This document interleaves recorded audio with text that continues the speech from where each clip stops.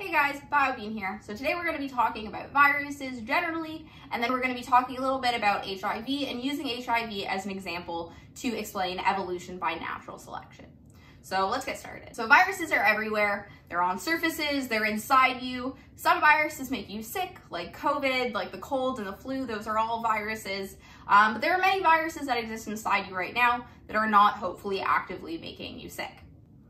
So when we look at the evolutionary tree of life, we see we have eukaryota, bacteria, and archaea. So viruses don't really fall anywhere within this evolutionary tree of life. The reason for that is because we don't really consider viruses to be alive.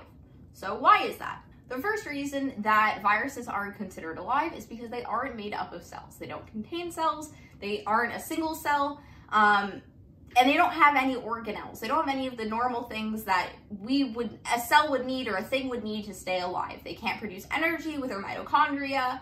Um, they don't have a nucleus. There, there's a variety of things that, that they do not have. So the second thing that why we don't consider viruses to be alive is that they don't have a membrane.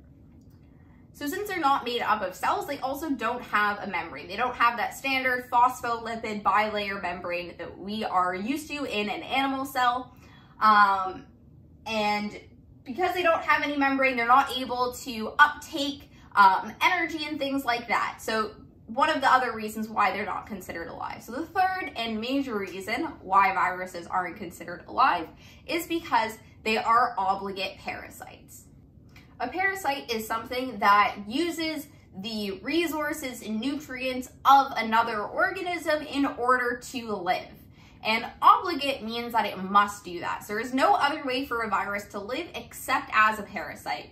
It can only live on surfaces like a countertop or cardboard for a very, very short period of time without a host present. So we consider them obligate parasites.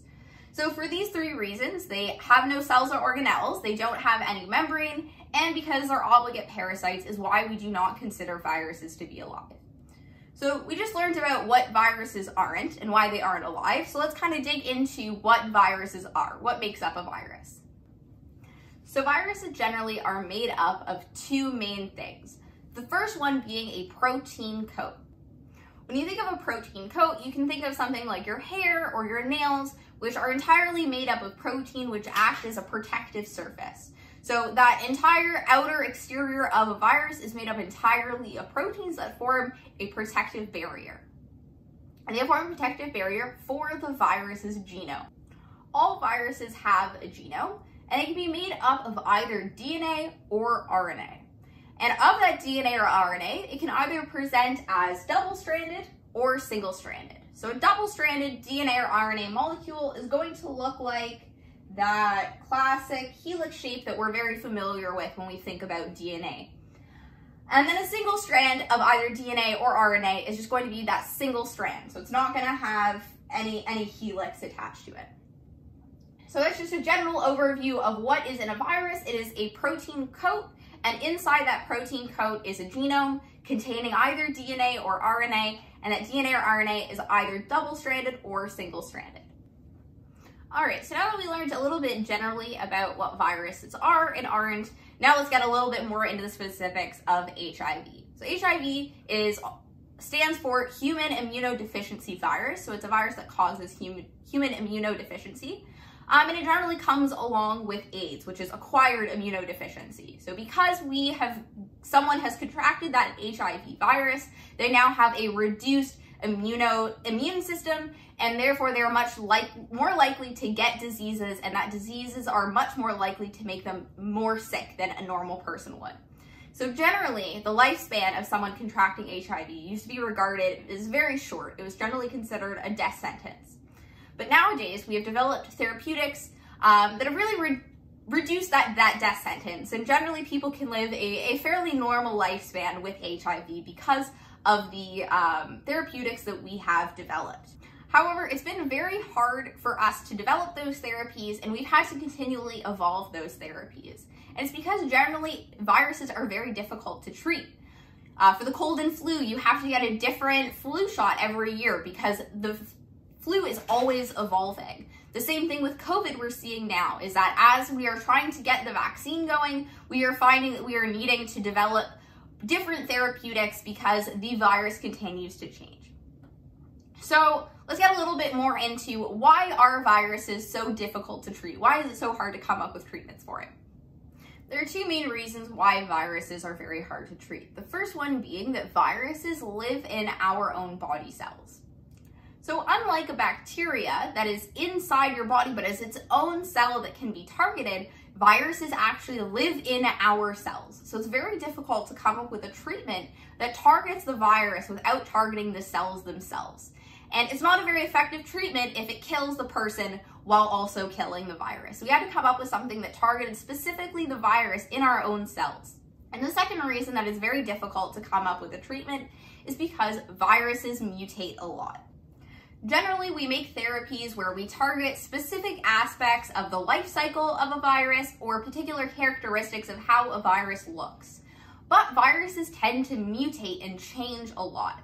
So just like how every cell that replicates collects mutations, any genome that is replicating is going to collect mutations, the virus, because it replicates so frequently, tends to collect a lot more mutations than our normal body cells would. And so if those, if the life cycle of the virus or if the way that the virus looks has changed, then generally we need to then alter our therapy to target the differences that now exist. So the mutation rate makes it very difficult to come up with treatment for it. So the first reason why viruses were very hard to treat was because they live in our own cells. So I want to get a little bit into how viruses go about getting into our cells.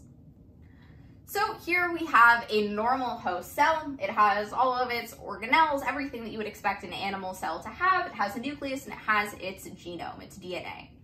So we also have here a virus particle that's trying to infect this cell. So the main ways that, the main steps that a virus takes to infect a cell is first it needs to insert its genome into the host cell. So it inserts its genome into the host cell. Then there is an enzyme, which is a type of protein called integrase. And that is what integrates the viral genome into the host DNA. So you can always notice an enzyme because it always ends in the word ase. And then generally the beginning of the word tells you what the enzyme's function is. So in this case, the word is integrase. So ase means that it's an enzyme and the integrate part tells us that it helps integrate the viral DNA into the host DNA. So it's going to integrate that little piece of viral DNA into the host DNA. So now the host cell does what a normal cell does, and it reads its genome and it transcribes genes and translates genes. So in the process of doing that, it is also going to be transcribing the genes of the virus. And what that is going to tell the host cell to do is going to tell it to first make the protein coat of the virus. So inside the host cell is going to be made the protein coat. And then it is going to tell the host cell to insert the viral genome into that protein coat. And then the virus is going to burst out of that host cell and go on to infect other cells within that organism or to go on to infect other organisms. So it's going to burst out of that cell. We've kind of done an over general overview of how a virus would infect a cell, let's get into the more specifics of HIV. So if you remember, I told you that viruses can have either DNA or RNA, and that can be double-stranded or single-stranded. So in the case of HIV, they have a single-stranded RNA genome. So generally, the host cell's genome is made up of DNA, and RNA cannot integrate directly into DNA. So there has to be a new step where the RNA of the HIV is converted into DNA so that it can be properly integrated into the host genome. If we think of the normal flow of information in a cell, it goes from DNA where it gets transcribed into RNA and then translated into a protein. So the process of going from DNA to RNA is called transcription. So therefore, we call the process of going from RNA to DNA reverse transcription. Reverse transcription is the process of going from RNA to DNA. And that is done by an enzyme called reverse transcriptase. So again, we know it's an enzyme because it has that ase at the end, And we know its function because of the rest of the beginning of the name. So reverse transcript. So it does reverse transcription. So it's an enzyme that's doing reverse transcription. It's called reverse transcriptase. So now when we look back to our HIV example infecting a host cell, there's an extra step that needs to take place. The HIV virus must first convert their RNA into DNA through the process of reverse transcription. And again, that is done by the enzyme reverse transcriptase. So now that reverse transcriptase enzyme has converted our RNA into DNA, then the enzyme integrase is going to integrate our HIV DNA inside. That is going to tell the host cell to create new protein coats and to fill that with the HIV genome and then for that to burst the cell. So now armed with the knowledge of how HIV goes about infecting a cell, we use that knowledge to develop treatments. So one of the first treatments that was developed is called AZT. So what they did was they took a normal nucleoside, thymidine, and they converted into a nucleoside analog. So what that means is they altered the way that the thymidine was a little bit. So they retained the standard structure of the thymidine, which usually is supposed to have an OH group on the 3' prime end. This is what allows a chemical reaction to happen to attach the next nucleoside base. However, what they did is they created a nucleoside analog AZT. And what that had was instead of having that OH group on the 3' end, it now had an N3 group. So now that means there is no reaction that can take place on this 3' end, and there can no longer be any bases added to that growing chain. So once AZT is added, that halts HIV production. So they used this drug for a while and it seemed to be working really well. It was helping treat HIV and helping reduce symptoms of HIV in individuals. So let's kind of go through several generations of an HIV virus to understand why AZT treatment started to lose some of its effectiveness and why they needed to start to explore other treatment options for HIV. So if you kind of look at just the generation time of a virus or of HIV, it's going to start doing its thing. It's going to replicate and it's going to begin spreading throughout the host cells um, or other organisms. So as it replicates, it's going to it's going to collect mutations because any genome that is replicating is going to collect mutations. So let's say this one gets a blue mutation and then it's going to pass it on to all of its offspring. Um, let's say this one gets a, a red mutation over here. Uh, maybe this one gets a green mutation and it's going to pass it on to all of its offspring. So we can see some of them got mutations, some of them didn't get mutations, and they're all kind of different mutations. Most of these will do nothing to the to the HIV. It's not going to affect the way that it looks, the way that it functions. It's going to have no effect. Some of them maybe would be a little bit negative to it, to the HIV, make it spread a little less well, and some of them maybe would make the HIV spread better. So what we're going to explore is the one mutation that happened that happened to have given resistance to AZT. So we're going to call that the green mutation here. So we see there's a bunch of different mutations. There's a blue mutation, there's a red mutation, but those didn't really do anything that we were concerned about. They didn't affect the HIV in any way. But what this green mutation did was it gave the reverse transcriptase molecule better proofreading ability. So if we remember, the reverse transcriptase molecule is what converts the genome of HIV from RNA into DNA. So now, when the reverse transcriptase is doing its thing, converting RNA into DNA, and we put it in the presence of AZT, it'll now be able to recognize that AZT is present and not use that base. It will know that that's not the correct base we need. We need the one that has the OH on the end, and it will find that one instead. So now, all of the HIV viruses that have this green mutation that give the reverse transcriptase that proofreading ability are going to be able to continue to replicate even in the presence of AZT. So once we've added AZT treatment, we can see that the HIV viruses that have collected the mutation that helps it have better proofreading ability are going to continue to replicate because they're able to detect that AZT is present and say, that's a bad nucleoside base, let's find the correct one. But all of the other ones, the ones with the blue mutation, the one with the red mutation, the ones with no mutations, are not going to be able to tell that they're using AZT. And then once they add AZT into their growing chain, they won't be able to finish that replication. So only the green HIV that have that mutation that allow it to evade the AZT is going to continue to grow. And eventually, that is going to be the only strain that is there because all of the other strains now won't be able to replicate with AZT present.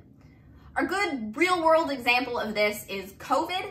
So as we saw, the normal COVID variant was out and about, and then the Delta variant came along, which seemed to be able to transmit from person to person a little bit better than the normal COVID virus. And now, after about a year of the Delta variant moving about, it is now the dominant strain of COVID. It is the most common strain that we see people infected with. And that is because it had an advantage in that it was able to move from person to person faster. So it spread faster than the other COVID variants, and therefore it kind of took over and took hold.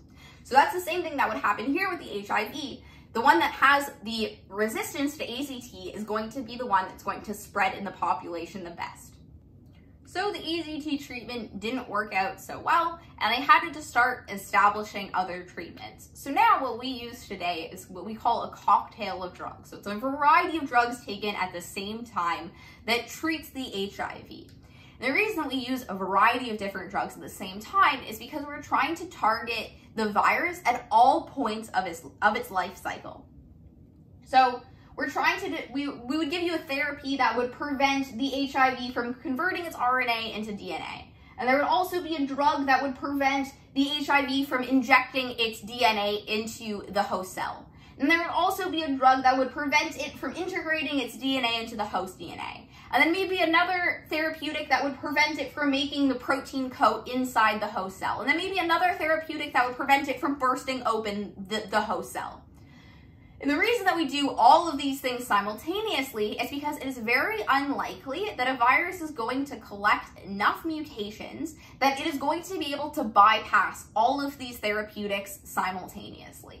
So it's perhaps possible that it'll collect three mutations and it'll be able to convert its RNA into DNA and maybe insert it, its DNA into the host cell but it's not going to have enough mutations that it's also going to be able to integrate its DNA into the host and then create the pro coat protein and then to explode out of the cell. So it's very unlikely that the virus is going to collect that many mutations. So therefore we throw the whole gambit of drugs at it that we can to stop the HIV in its tracks. Because if it is not able to pass its mutations on to the next generation, then that next generation can accumulate even more mutations to be able to evade even more things. So if we stop it in its tracks, it'll stop at the mutations that it has there and it won't be able to pass them on. The evolution of HIV to AZT is an example of evolution by natural selection. So there were a few things that we saw exemplified in that HIV AZT example that is required for evolution by natural selection to exist. The first one was variation. So if we think back to the um, evolution of the HIV virus, we saw that as it continued to go through its generations, it slowly accumulated mutations. Some of them accumulated different mutations. Some of them had blue mutations or a green mutation or a red mutation. And all of those are variations within the genome. So variations within the population of HIV. You can kind of think about it, variation within a human population would be differences in eye color and differences in height. So variation within a trait is one of the things necessary for evolution by natural selection. But it's not necessary, it is not only that there is variation, there also must be heritability. So not only must there be variation within the trait, but that trait must also be heritable. It's not enough for someone to have variation in muscle mass from lifting weights because that's not something that's going to be passed down from generation to generation. If I work out my muscles, that does not mean I'm going to have a jack kid. So no matter how much variation there is in muscle mass, that's not something that's going to evolve because it's not something that can be passed down from generation to generation. So there must be variation and heritability. So we saw that with the HIV example because once a virus acquired a mutation, it then passed that mutation on to its next generation. So the last thing that we saw that is needed for evolution by natural selection is non-random survival. So again, in the example we were watching the generation times of the HIV, we saw that certain mutations gave a survivability advantage to some of the HIV molecules. So in particular, the viruses that got the green mutation were able to survive even with AZT treatment because they now had that proofreading ability to allow them to not use that AZT and instead find the correct base. So there was a preference to which um, variation was going to survive best. So the variation, the green variation, was going to allow that virus to survive best. So when you have that non-random survival, when there's a reason why one survives over the other, and then you have variation in that trait, and that trait is heritable, then you are going to get evolution by natural selection, where the environment that the organism is living is going to impact which trait is going to become most abundant or least abundant. In the case of the HIV, we saw that the mutation that gave the HIV the ability to evade the AZT was the one that became the most prominent. And that's lecture two. Don't forget to comment, like, and subscribe. And if you are struggling with any of the concepts that were taught here today, please make sure to visit biologybean.com where you can access all the tutoring that you need. Again, that's biologybean.com.